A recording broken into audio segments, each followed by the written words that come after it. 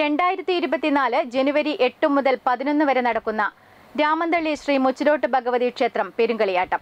കളിയാട്ടം ഏൽപ്പിക്കൽ ചടങ്ങ് നടന്നു. മൂലഭണ്ഡാരം ക്ഷേത്രം കോയ്മയ്ക്ക് നൽകി പെരുങ്കളിയാട്ടത്തിന് തുടക്കം കുറിച്ചു.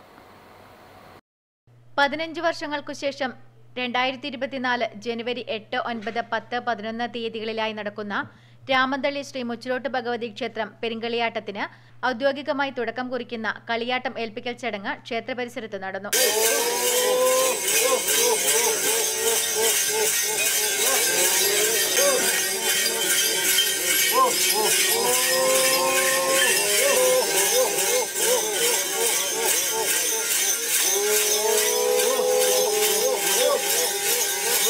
പെരുങ്കളിയാട്ടം നടക്കുന്ന ചിലവിലേക്ക് കളിയാട്ട നടത്തിപ്പുകാർക്ക് മൂലഭണ്ഡാരം ഏൽപ്പിക്കുന്ന ചടങ്ങാണ് കളിയാട്ടം ഏൽപ്പിക്കൽ ക്ഷേത്രം അടിയന്തരത്തിനായി തിരുനടയിൽ അരങ്ങിലിറങ്ങിയ തമ്പുരാട്ടിയുടെ പ്രതിപുരുഷനും അന്ത്യത്തിരിയനും ചേർന്ന് മൂലഭണ്ഡാരം ക്ഷേത്രകോയ്മയും സംഘാടക സമിതി ചെയർമാനുമായ കെ കെ രാമകൃഷ്ണ പൊതുവാളിനെ ഏൽപ്പിച്ചതോടെ ചടങ്ങ് പൂർത്തിയായി